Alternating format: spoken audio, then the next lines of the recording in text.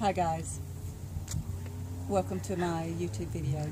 Today we're going to demonstrate the weasel nut gatherer.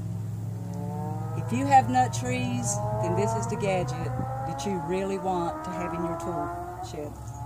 Um, I had never used one, saw one at a hardware store, and I decided to get it because I do have nut trees. I have pecan trees, and I have I have a several, and so for years and years I've picked them up by hand, and it is absolutely backbreaking.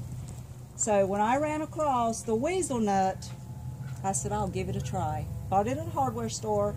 Um, it was about thirty-four dollars, and it's the medium size. They had a smaller one and they had a larger one. I went with the middle ground.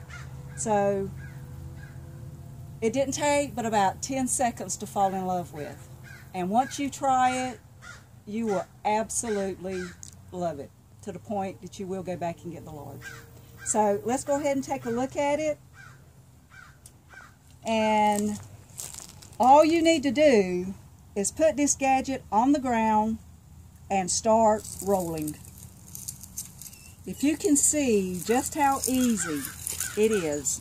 I'm kind of going in slow mode, but it is so easy to just pick up these pecans. I am just rolling it across the ground. And in just in just a couple minutes, your little your little weasel nut, oh my gosh, it will be full. It is so easy. You will love it. This is the best gadget I think I've ever owned. Like I said, if you have nut trees, then this is the tool for you. I highly recommend it. Once you get your weasel nut full, um, I've already got it about halfway full, and I've only moved around in about a three by three area. Here's all you need to do. You can pull the leaves out. All you do is separate these.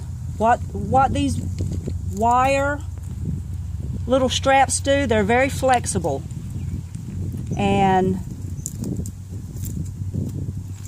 they open up very easily. Just drop your pecans in the bucket. And it's as simple as that. Sometimes these will separate and get a little larger. I think I fixed them all last week, but if they do, you could just come down to the end and push them back together and it's like brand new. This is the gadget to have. I will have a basket or should I say bucket full of pecans in just a couple of minutes. Thanks. Have a great day.